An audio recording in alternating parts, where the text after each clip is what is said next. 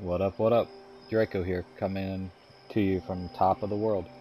Uh, I wanted to show you a new camp that I made. Um, my last one had a few issues. Weird, it kept duplicating plans there, and as I mentioned in my last video, it constantly kept getting attacked, and it was becoming aggravating to keep defending it. So, as I said, I'm here at, at the top of the world. Um, and I'll jump right into it. I build it over here on top of the um, junk extractor. Got a nice sale point right across the street. Walk up the side. Open the door. And shut it. And you got a nice foyer. Foyer. However you pronounce that.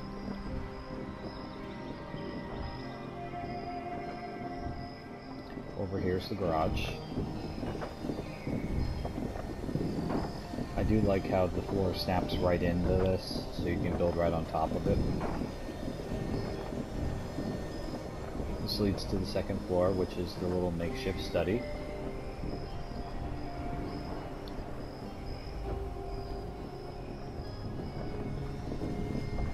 The other half of the house is a very small kitchen. You got your refrigerator, your Nuka-Cola machine. You got some fresh water, the stove, dining room table. Up here is a little uh, TV room. Got great views out every window. This is great for fishing. Great just to get away from it. The top floor is where the magic happens. It's my room. you get the bed.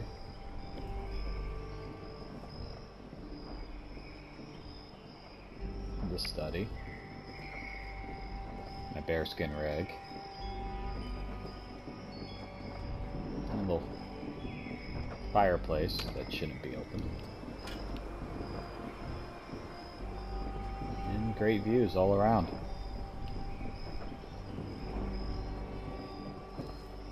You got the balcony off either side. Great views of the river right here. I could not reach down to the river and still have the uh, junk extractor up here. But that's fine. The water purifier I have is perfectly good enough.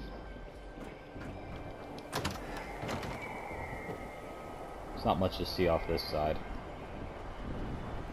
If you're a sniper, you can sit up here and snipe the camp up there.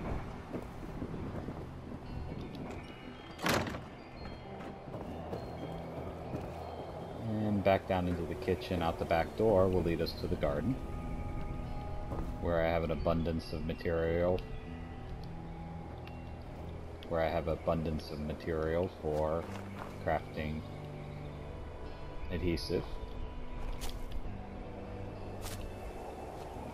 I built this place on three platforms only, so I'm able to relocate it if need be fairly easy. Um, that's the reason why you've seen the stairs go up in the main foyer and then come down on the sides to be able to put these floors, because these floors are more forgiving than the um, plat than the um, these things that I forgot the names of.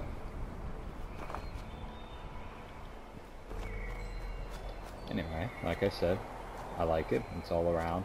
I guess I could have put some stuff on the ground so it wouldn't show, but it's still nice. Um, the garage isn't functional. I'm sort of at my build limit.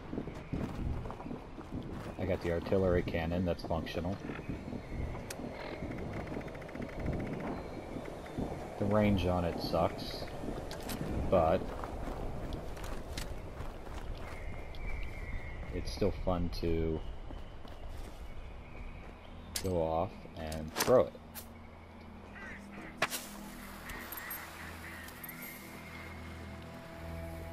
Just to aggravate the locals.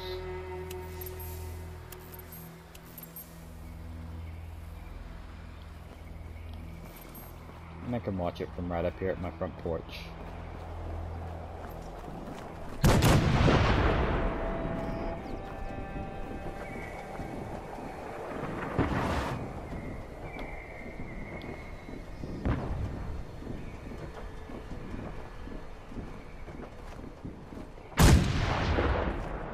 You do actually watch it come out of there. Okay.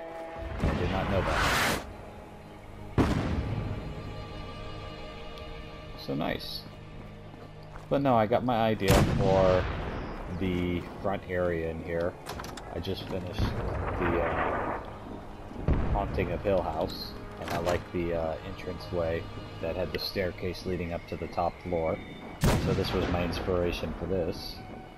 But it's a little bit more different than your typical um, square homes that you see here. I know I said that I generally do like building into the scenery, but this isn't my permanent place, this is only temporary.